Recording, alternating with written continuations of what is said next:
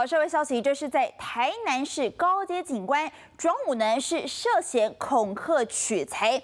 那么庄武能现在呢是时任台南市警局秘书室主任。其实除了涉嫌千万的这种恐吓取财之外呢，还卷入了男女纠纷。事实上呢，警方在第一时间要逮捕他的时候呢，他还是遭拒捕，而且当时还开车冲撞第一线的远警哦。最后呢是连开九枪才将他压。制带回，那最后现在是以十万元交保，即大过免职。事后呢，庄武能就自己含冤澄清，他说呢，他这个人。绝对不可能，也没有任何理由开车冲撞第一线办案的远警，还说认识我的人，没有人会相信我会去恐吓取财。好，目前消息一出，一路提拔他的方养宁今天出面表示，说这个世人不清，不会回避责任，而且还自请处分。好，回过来看哦，其实，在去年台南市的警纪丑闻，真的说是连环爆，包含这个八月、十一月、十二月，通通都有案件。现在呢，这个警政署长黄明昭就特别说了，如果有违法的话，绝对不会宽待，一定会断然的处理。这是我必须要负责任的地方，所以我也不回避。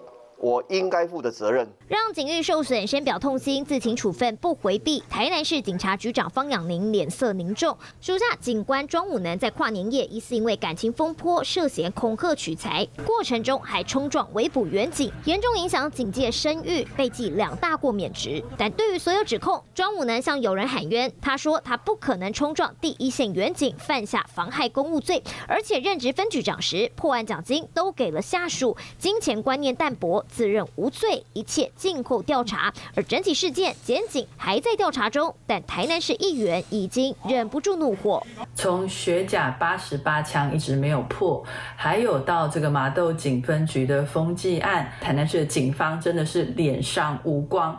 我们要呼吁方养宁局长要好好的整顿我们的警纪、我们的治安。上行下效，起掉领导风格所致了哈，咱等起掉。咱今要指掉方养廉，哎，好好的检讨。